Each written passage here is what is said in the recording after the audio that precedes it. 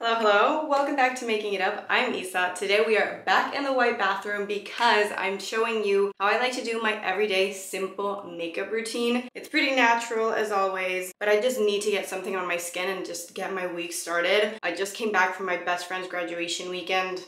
I went out a lot. I'm not feeling my best. I'm not looking my best. So we need to do something about this. So I want to show you just how I like to do, you know, my simple routine that just gets me out the door. It enhances my features. It's nothing complicated. It is perfect for every day. So if you're looking for a new, updated, everyday makeup routine, or you just want to hang out for a little while, this is a video for you, my friend. Let's put some makeup on the face and let's talk beauty. I don't really have like a headband or anything that I can like my hair back with? Okay, that's fine. I didn't even wet my sponge, you guys. I'm so unprepared for this. So I'm gonna get started. Whenever I'm not feeling my best, I usually just like to add a little bit of something to conceal. I don't wanna go all over the face with coverage because I still wanna look natural. So I'm just gonna be wearing some concealer. This is the Haus Lab Triclone Concealer. I have the shade 11. I'm just applying this to like the points where I need the most coverage. For me, that is always the under eyes. I have really bad under eyes and then wherever there's a bit of redness, I'll add this. But it won't go all over the, the skin, you know, that makes it a little bit less natural than I would like it to be. I'm blending it out with a sponge simply because it's the easiest and quickest thing for me to do. And on days when I want simple and uncomplicated, this is just a lifesaver. I also have quite a few breakouts around my chin. So I want to add some extra coverage there, which sucks, but like, just want to even out the skin a little bit more, you know what I mean? I also have a huge freaking breakout right in my cupid's bow. We're gonna cover that up a bit.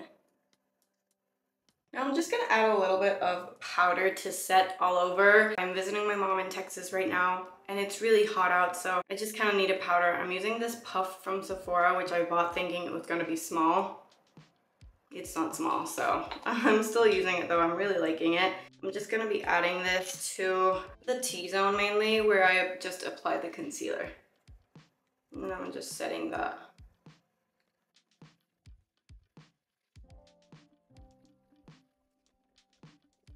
I don't want to go too crazy with the powder because I still want this to look very, very natural, but I do want to make sure it's set. So, you know, if you have drier skin, this is a step you can skip.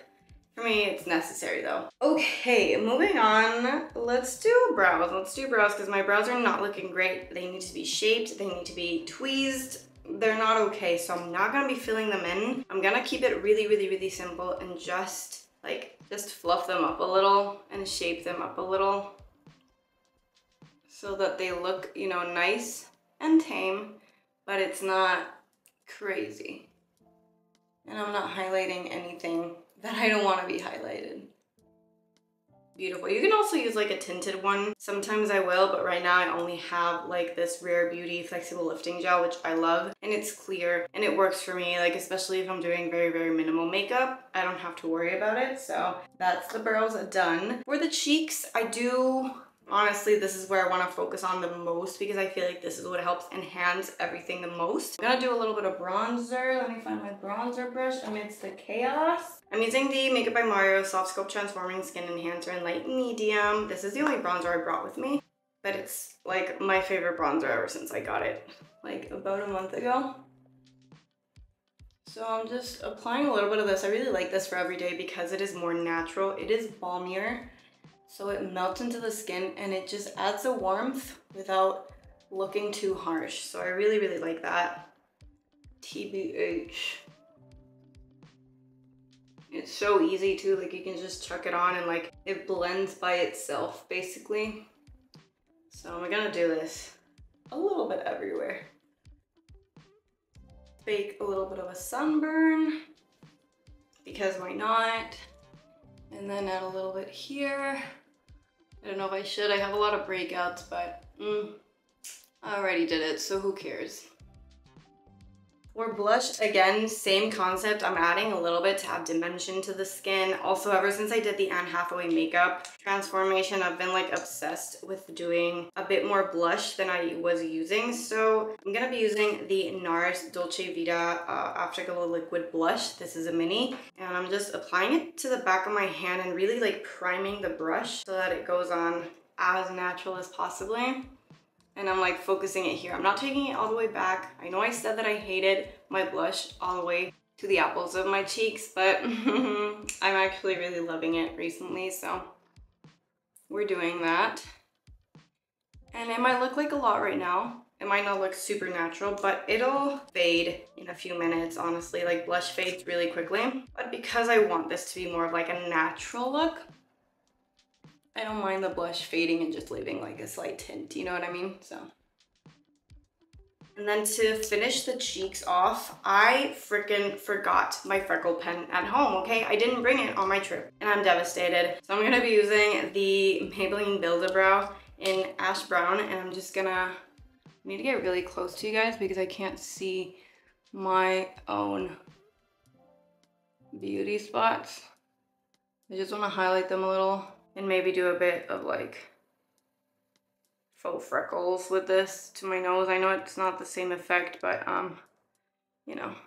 To finish off the eyes, I'm just gonna apply a little bit of mascara and on the days when I want it to be super, super, super natural, all I'm gonna do is grab a mascara. I'm using the Queen Musia 2053 mascara, which honestly, I'm loving. I don't know if I featured it yet or not, but I'm loving this mascara so much. It can be more natural or you can build it up to be a lot more voluminous. But what I like to do when I'm simply just like enhancing my face and I don't want to do a lot, I want it to be natural and simple. I will grab the mascara and just do a little bit to like, I won't go to the root.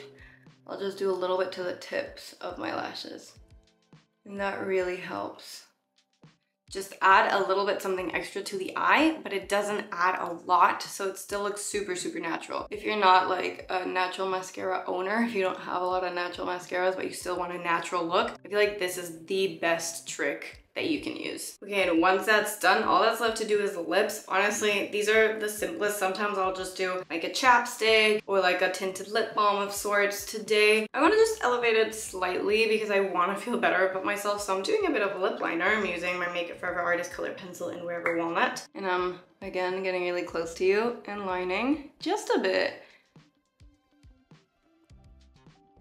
I just want it to look, you know, defined. And the key to doing this is finding a My Lips But Better color. So a color of lip liner that is really, really close to your lips, maybe like a shade darker to add a bit of contrast so that it looks very, very natural. And then I'm going to add the Kosas Wet Lip Oil in Unbuttoned. This is a mini. They gave it to me for my birthday at Sephora and it's again a My Lips But Better shade. So I'm just gonna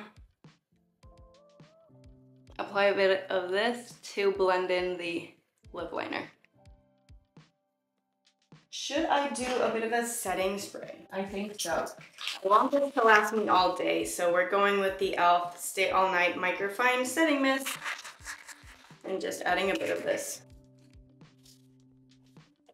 Let me get up close and personal to show you. This is the finished look. Again, nothing to write home about. It is super, super, super simple. My hair is not helping out, but whenever I want to feel better, you know, like right now my skin was not looking its best. So I just want to enhance things a little bit, but not have to worry about wearing a lot of makeup. This is just what I love doing. And I feel like it's super recreatable. Anyone can do it with what they have at home. What do you guys think? I like it.